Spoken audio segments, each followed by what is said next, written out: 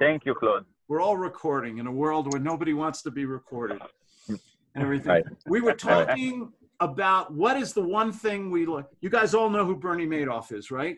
Yes. Okay. Yes. I love Bernie Madoff because there's such a phenomenal lesson of success and freedom to learn from this horrible man. He hurt a lot of people. A lot of people committed suicide and stuff. He stole wow. he stole billions of dollars of money Wow. uh, from people.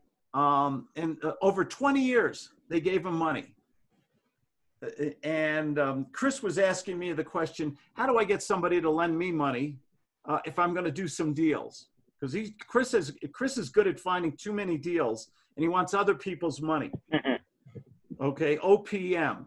So it Right. reduces his. He still finds the deal. He still makes the big bucks, but he's risking other people's money rather than his own. Oh, and that's that's smart investing, That's in, in my genius. opinion. Yeah. Yeah. That's And, and the question, I think, Chris, what was the question you asked me? How do you get people to do that? To give a, a total stranger 50, a 100,000, a quarter million or more? How do you get, how do people do that? How did Bernie Madoff get people to give him millions and millions of dollars over 20 years? You gotta, just, it's gotta be asked. And, and, what I, I'm curious about, uh, at that time have the social proof. What oh, was he? proof. What was he? Was he already? Was Okay, this is Oh, my wow, favorite, this is my favorite whiteboard. I, I took it down for Chris. cons- consistency, commitment, social proof, authority, liking and trust, Yeah. scarcity. all, Yeah. all that. It's right here. I have these all over my office, but you can buy these portable boards and just stick them on the wall or whatever. And the thing about it is, he was he was able to basically take. Um, he was able to. He was using scarcity. Mm. Okay, he said, "Hey, I only take a limited number of clientele. Um, I've only got a certain amount of products I can sell you. Um, I'm very busy. I work with a lot of really smart people who are making amazing amounts of money. Okay, so if this is not what you're looking for, don't worry about it. We don't have to waste a lot of time. Don't even come to my office if you're not prepared to. Uh, and I only start people off at hundred thousand dollars minimum. So if that's not a, you know, I won't. T- I know a lot of people want to invest a quarter million to a five million dollars, but I, I, I just have a principle here. I only start people off with a hundred thousand. Okay. Okay. What Yeah. what happens when you use scarcity, uh, social proof, other investors? I only have a scarcity. I only have a limited product. Authority. Okay, I know what I'm doing. I'm I have uh, these degrees. I've been in business for this long time. Um, how do you get them to like and trust you? You do that stroking and nurturing we always talk about. Reciprocity. Okay, listen, I'm going to make an exception. I'm going to do this for you, but you have to do this for me. I need this contract by 4:30. I need a draft, a check, a money transfer by uh, no later than 10 o'clock tomorrow morning. Otherwise, this is over. And please don't ever bother me again. Yeah. What? And and and he could do it in such a way where very short conversations and people would just throw money at him. Have you ever seen the movie with Richard Dreyfuss on Bernie Madoff? It's on. I think it's on Netflix or Hulu or something. It's it's worth seeing or read some of the books about this guy. Even though he was evil, he was a criminal. He's in jail right now. I maybe I might be in the Colorado Oh. federal federal oh, jail. I'm not sure. I thought he got out. Oh no. Still Ain't locked getting- up. Oh mm-hmm. no, he's gonna die in prison. Yeah. But, Oh, but, he'll, but, ne- he'll never get out. but they don't they don't talk about let, let me ask you this do, do you think people actually there were some individuals who actually made money like with him and that like Very good question. Excellent. Why? The first one. The, pe- The the first people- one. The, the first ones in the beginning. Same thing with network marketing. yes Same Mhm. thing with uh, the dot com boom. Chris and I were talking about that. Always the guys in the mi- in the beginning. They're usually friends and family or shills, straw men, yeah pho- phonies. You know, Mm. they they give it to their kids or set up phony corporations and trusts and things like that. They make their own money. Why? Mm. Why? It, but- what does that does that actually fuel like the uh, social proof? Doesn't that begin like the foundation where everybody's like, "This is the new trend. We want to be a part of it. You know, let us in," type of thing. Because as you already said, the scarcity actually is the persuasion. You know, of the Yeah. influence. Yeah. And what we're talking about applies to raising money, doing real estate, anything. if you go to somebody and you act like a see salespeople to me sound like beggars. They're desperate.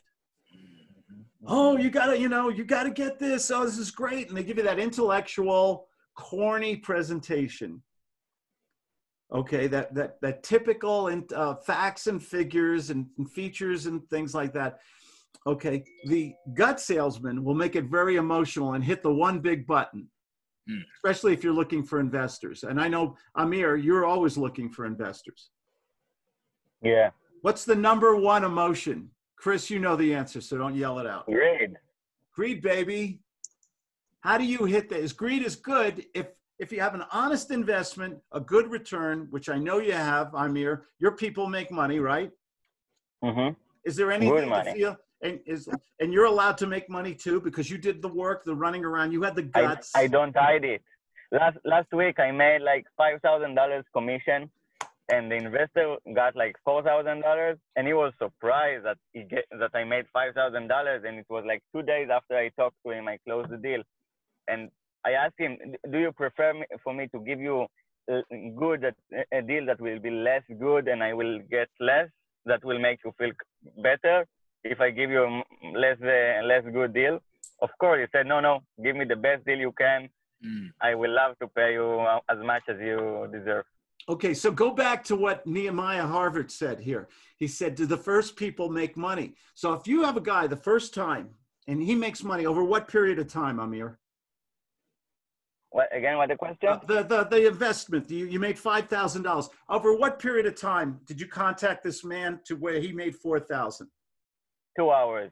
Two hours. Uh, two days. I spent two hours. Okay. You well, you had to find the deal first and put it together and everything else, right? It was his house. I just found him the the buyer. Okay. So this oh. guy, this guy made four that this guy made four thousand dollars on his investment up front. Okay. Yeah. What's what what do you think? What's his what does he think about you now? What's the empathy? What do you think is what's going on in his head about you? You're a mensch. You're can I do the next one? He loves you. Like ability. Like a, houses. Yeah. Are you an authority? Are you the I man? I'm the go-to go-to guy. I'm authority. Yeah. You're the authority. Does he like you? He loves you. Does he trust yeah. you implicitly? Because yeah. you paid him back. You did everything you said. What's the next thing you can do? How much money did he invest with you? this is this is a house he bought from a, a shitty house he bought from a marketing guy. Uh, but uh, instead of have a shitty house in a shitty area, now we have a land contract that give him like 12, 14 percent net.